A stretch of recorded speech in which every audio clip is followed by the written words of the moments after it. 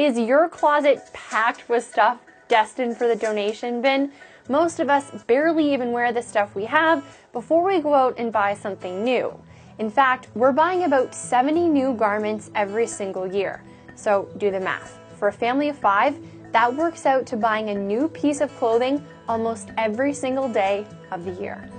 Donating your old clothes to charity might make you feel better than putting them in the trash, but the reality is nobody needs your old college sweats. It's called the clothing deficit myth.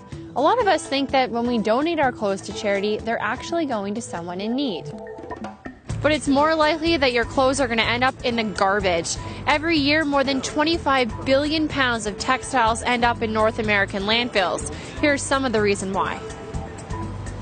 We're buying 400% more clothes than we did in the 1980s. Stores are rapidly restocking. Some even bring in new clothes every other day. Experts say we can thank fast fashion for this. We can buy way more for way less. Those buying habits lead to millions of pounds of unwanted clothes in donation centers.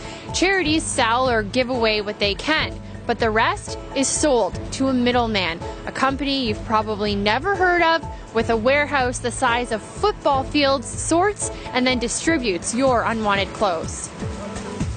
That middleman sells those clothes to developing countries. Kenya was Canada's top customer for secondhand clothes in 2016. But forget one man's trash is another man's treasure. These countries, they don't need our cast offs. What they can't use or sell ends up in landfills or burned.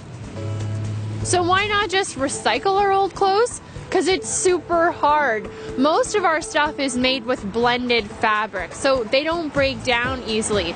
Take your favorite skinny jeans, for example. They're made with cotton and elastane. It's actually cheaper to make a new pair of jeans than take the material from your old ones and reuse and recycle it. And get this, nearly 4,000 liters of water go into making a new pair of jeans.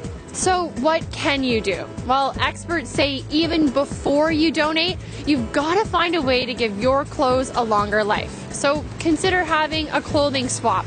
Maybe give your cast offs to friends or family someone who's going to get use out of it. But ultimately, the best thing you can do, buy less.